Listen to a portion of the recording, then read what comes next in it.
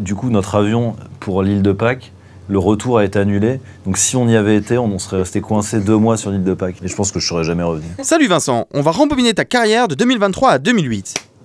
C'était un clap vraiment de mauviette. 2023. Maintenant, en ce moment, là, il y a le film Un métier sérieux de Thomas Litti qui va sortir. Vous devez respecter le surveillant comme on respecte un enseignant. Est-ce que c'est clair? C'est pas un surveillant, monsieur. Je suis le nouveau professeur de mathématiques. On a fait trois films ensemble, Hippocrate première année, et là la boucle est bouclée. En même temps, j'avais pas faire des étudiants jusqu'à jusqu'à 50 ans, quoi. Sinon, au bout d'un moment, ça fait un peu. Mais là, en effet, c'est la première fois que je fais un prof, et c'est euh, vraiment euh, bah, un super film sur le métier d'enseignant. C'est un peu euh, une cartographie de ce qu'est le métier d'enseignant. Souvent, les films sur les profs, c'est souvent soit dans des lycées à problème, soit dans des. C'est souvent le rapport avec les élèves, et là, c'est vraiment les questionnements de- des professeurs, euh, comment ils arrivent à allier le- le- l'intime et le travail, etc. Et c'est hyper intéressant, quoi. Parce que moi, j'avais évidemment un point de vue d'élève, j'ai arrêté l'école très tôt, donc euh, enfin très tôt, au bac, mais bon, de- mon esprit avait arrêté avant. J'ai continué jusqu'au bac. 2022. Euh, En 2022, ouais, alors qu'est-ce que j'ai fait? J'ai fait euh, Le lycéen de Christophe Honoré, très beau film où j'étais blond. Je vais pas pouvoir beaucoup m'occuper de toi, mais ça te fera un break avant le lycée comme ça. Cette année a été couronnée de, de ton premier César quand même, donc c'était quand même une. Ouais, en effet, ouais, c'est vrai. Ah oui, c'était en 2022 aussi, j'ai eu un premier, mon premier César. Pas le dernier, j'espère le premier d'une longue liste. non, j'étais trop content et euh, bah, ça m'a fait hyper plaisir, quoi, parce que c'est vrai que j'avais été déjà nommé pas mal de fois et je, commençais un peu à me dire, bon, bah, je vais être nommé, mais je vais jamais en avoir un, quoi. 2021. Et euh, j'avais la sortie aussi de l'année d'avant d'Illusion perdue et puis la BD de Riyad, euh, le jeune acteur, Mon métier, c'est d'enrichir les actionnaires du journal. Où en fait on devait le week-end on faisait des euh, on faisait des, des séances de dédicaces. Et du coup en fait j'avais jamais de pause quoi. Et j'enchaînais six films sans m'arrêter comme ça.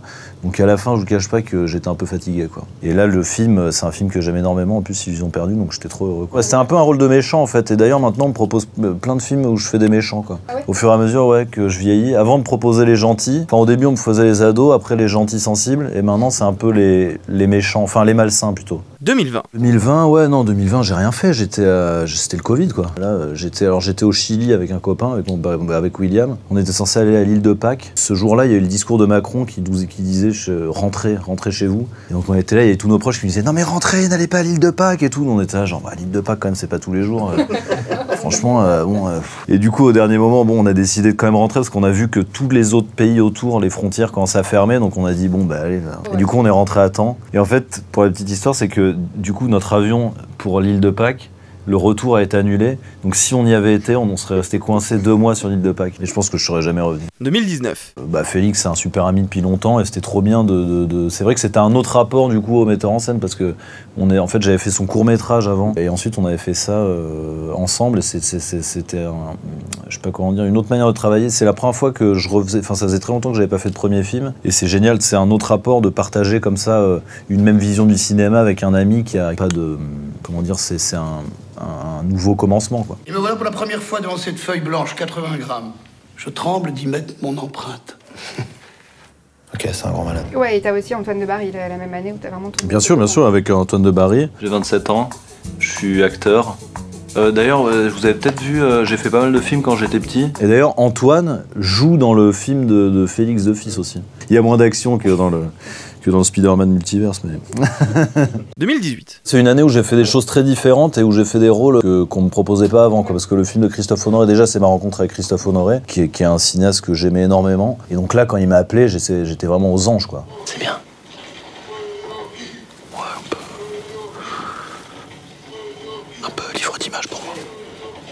Après ça, on m'a proposé des films différents. C'est vrai que c'est la première fois aussi que je faisais plus des dramas euh, intenses. Quoi. Et le film de Michael Hers aussi, Amanda, qui est un film qui me faisait vachement... euh, que j'appréhendais pas mal, parce que c'est vrai que c'est un rôle que j'avais pas du tout euh, fait avant. Quoi. Moi, je prends du plaisir à jouer des scènes où, je suis effondré, euh, comme je prends du plaisir à, jouer des scènes où je suis très heureux. C'est quand même moins fatigant de faire des scènes où, on est content.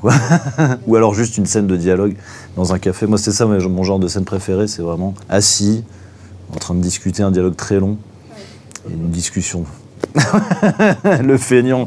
2017. 2017, j'ai tourné en fait, c'est pour ça, mais il n'y a pas eu de sortie 2017. Euh, non, parce que non, c'était après le film de Justine Trier, Victoria, où j'ai fait une pause. Là, j'étais en mode.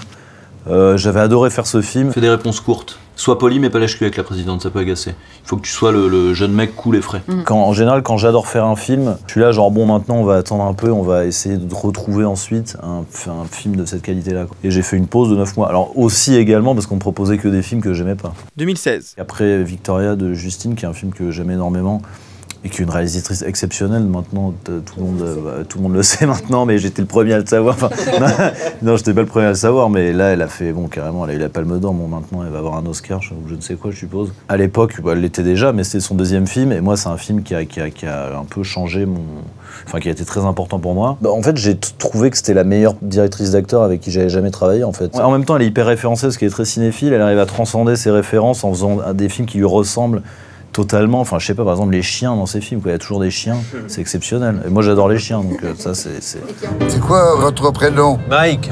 On dirait, on dirait un prénom de tracteur américain. Autre ambiance, mais c'était très sympa aussi, hein, attention. C'était, mais c'était une ambiance un peu plus éthylique. En fait, on tournait beaucoup le matin, et après, les vignerons arrivaient à la cantine, nous servaient, ils amenaient des grosses bouteilles, des machins pour faire des dégustations. Ensuite, le matin, on faisait 10 séquences, tout le monde était hyper performant. Ensuite, il y avait pause déj de 2 heures, 2-3 heures. Et après, on tournait vaguement une séquence. Et après, c'était la, c'était la fin de journée. Quoi. Mais c'était très sympa, c'était formateur. 2015 Ah oui, j'avais été nommé en, en meilleur acteur. Ouais, ça, j'étais content, ouais. Enfin, je l'ai pas eu. J'étais content parce que j'étais le plus jeune euh, nommé. Mais c'était quand même très sympa. J'étais hyper heureux d'être nommé déjà, quoi. C'est qui qui l'a eu cette année-là? C'était Pierre Ninet, je crois. Qui lui est le plus jeune, mais à la voix rue, quoi. Moi, je suis le plus jeune nommé, donc il y a un côté un peu loose. 2014. Hippocrate, c'est quand même un film qui a changé beaucoup de choses pour moi. Déjà, premier film avec Thomas. Et c'est la, première fois que je faisais un film où j'avais un métier. Parce que c'est vrai qu'avant ça, vu que j'ai commencé jeune à 14 ans, euh, bon, on me proposait quand même souvent de faire des adolescents ou alors des personnes dont globalement les problématiques étaient euh, avoir des, relations avec d'autres personnes, quoi. Enfin, des relations amoureuses ou sexuelles, principalement. Donc là, j'étais content d'incarner autre chose, quoi. Donc, euh, deux mois d'abstinence, c'est ça? Ouais. Dernière bière, 3 janvier, 17h. D'accord. Et vous buviez combien par jour? Ça, je sais pas. Je compte pas. Euh, dans les 40. 40 Et puis c'est la rencontre avec Thomas aussi, qui est un cinéaste que j'adore et qui, voilà, euh, avec qui on a fait trois films maintenant et, j'espère qu'on en fera plein encore. 2013. Ça, je m'en souviens pas, c'était il y a longtemps, en 2013. Ah non, j'ai joué au théâtre en 2013. J'ai fait la pièce de Edouard Baird à la française. Premier pas au théâtre. Les derniers d'ailleurs, parce que j'ai jamais recommencé. 2012. En 2012, j'ai fait. Euh, oui, c'est quand j'ai tourné Astérix. Pourquoi? C'est fini. Pourquoi tu es parti? Tu vas pas arrêter de me casser les oreilles, là. Mais quoi, j'ai le droit de m'exprimer quand même? Oui, bah je vais t'exprimer de bof, moi, tu vas voir. Euh, Obélix, patience et pédagogie. Au début du tournage, quand on tournait en Hongrie, ouais, là j'avais des profs particuliers qui venaient sur le tournage parce qu'en fait je devais passer le bac. Étant donné que j'étais assez euh, j'étais pas un excellent élève mais je voulais absolument avoir le bac que j'avais exigé de passer les rattrapages euh, dans mon contrat c'était là parce que je, pensais honnêtement je pensais que j'allais avoir les rattrapages. En fait j'ai eu 10 et demi. Et par contre si j'avais eu les rattrapages j'aurais été ils auraient contractuellement été obligés de me libérer Sauf que ça aurait voulu dire que ce, jour-là, on était censé tourner avec, il y avait Catherine Deneuve, tout le monde de Pardieu et tout ça. en fait, ça aurait voulu dire qu'ils n'auraient pas pu tourner parce que j'allais passer mes rattrapages. Quoi. Donc j'avoue, j'étais un peu soulagé pour ça aussi. Quoi. Et non, c'était génial. Ouais, j'ai fêté mes 18 ans sur le tournage. Fêté son bac avec Catherine Deneuve. Ouais, c'est vrai en plus, elle était là. À la fin, en plus, je me souviens, à la fin, il y avait des tempêtes, on tournait en Irlande, et tout le monde était parti. Il restait plus que moi, je devais faire une scène avec les Vikings. On était au fin fond de l'Irlande, dans un village où il y avait juste une rue avec deux pubs, où genre, globalement, il y avait uniquement soit de la Guinness et des fish and chips, soit euh, rien d'autre, en fait, juste ça. Chaque matin, on arrivait sur le tournage, et je tournais, il y avait que, il y avait plus Boody Lanner, c'est moi. Et, donc, on, est, on était là, euh, et on allait à la piscine, je m'en souviens, il y avait une piscine dans l'hôtel, donc on nageait. Et le matin, on allait sur le tournage à 6h, et on restait 3 heures dans les loges, comme ça, dans les caravanes. Et à 9h, il venait nous voir, il disait Yeah, no shooting today, no, no. You can go home. Donc on disait bon, hop, et après piscine, fish and chips, et voilà, comme ça, pendant, pendant vraiment trois semaines. 2010 2010, je tournais un peu. Bah, j'ai tourné aussi pendant le bac français, hein, parce que je faisais le film euh, Le Skylab de Julie Delpy, donc ça c'était génial. On tournait à Pimpon, dans la forêt, à côté de la forêt de Brocéliande. On allait avec Denis Ménochet euh, et Albert Delpy et Eric Elmosino, on allait, on allait se faire peur euh, dans la forêt la nuit, après le tournage, et on essayait de trouver des farfadets ou des trucs comme ça, quoi. C'était genre. Et en fait, à chaque fois, il y avait Denis, il s'en allait en courant comme ça, il allait se cacher dans un fourré, et Albert, il était hyper effrayé. Après, il était là, genre, non, Denis, Denis, non, où t'es, où t'es, et tout machin. Ensuite, il ressortait un quart d'heure plus tard, genre Ouah Et sinon, euh, année scolaire assez, assez médiocre. J'étais très mauvais à ce moment-là parce que vraiment, je faisais des films à chaque vacances. J'en avais plus rien à faire. 2009. Euh, étant donné que j'étais extrêmement laid dans les beaux gosses et qu'il m'avait mis un faux appareil dentaire, un pull tacheté de bouse et, euh, et- et- et une coiffure de coluche mi-longue, en fait, j'ai. J'avais ultra honte. Ma vie va s'arrêter. Je me disais, il faut vite que je sorte avec une fille avant que ce film sorte, sinon après c'est terminé à tout jamais. Quoi. Bon, évidemment, ça n'a pas marché. Mais par contre, euh, le film est sorti. Et là, bah, ça a un peu changé ma vie, quoi, parce que les gens commencent à me reconnaître dans la rue. Puis on pourrait aller chez moi. Puis on pourrait faire l'amour. J'ai envie de sentir le corps d'un homme près du mien. Euh. Mais dis-le si tu veux pas. hein. Je veux pas te forcer. Ah, si, si, je veux, je veux, à mort. Ça a duré euh, un ou deux ans comme ça, où les gens m'appelaient Hervé en fait quoi. Et en même temps, si quand même, il y avait un peu des, des- Mais en tout cas, ça a changé ma vie parce qu'on est- on a été à Cannes et en fait, les gens m'ont vu au Grand Journal à la télé quoi, alors qu'ils savaient pas que j'avais fait un film quoi. Et donc ils ont dit attends mais qu'est-ce qui se passe là? C'est quoi le délire? Et Donc ils ont complètement halluciné quoi. Et en revenant au lycée, là j'étais, je pesais quoi quand même. 2008. Ouais, alors, j'étais en mode euh, tectonique, j'avais ceinture blanche avec. Alors j'en avais deux, j'avais ceinture noire euh, fausse Dolce Gabbana, achetée au puce de Saint-Ouen, et ceinture blanche.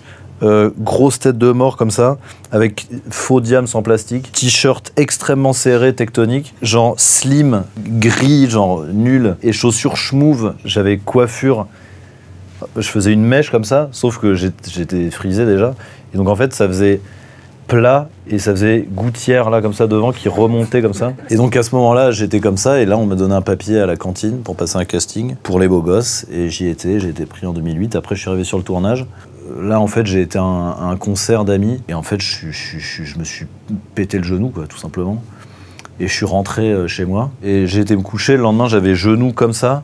Impossible de marcher. On était à une semaine du, tournage. Et donc j'ai appelé Riyad en catastrophe. Et là ensuite ça a été euh, magnétiseur, tous les, tout type de médecins, magnétiseur, tout le monde, des gens qui, essaient de faire des trucs. Et au final, on m'a fait une ponction et j'ai réussi à marcher. En fait, je boite dans le film, mais j'avais une attelle comme ça. Mais ils ont réussi à me faire marcher quand même. Oh, bah, je suis content, bah, c'est ma vie. quoi. Là où je suis content, c'est que je sais ce que j'aime. Euh, j'ai un métier qui est, ma passion, je vis de ma passion. Et j'ai eu pas mal de chance aussi, donc euh, ça c'est bien.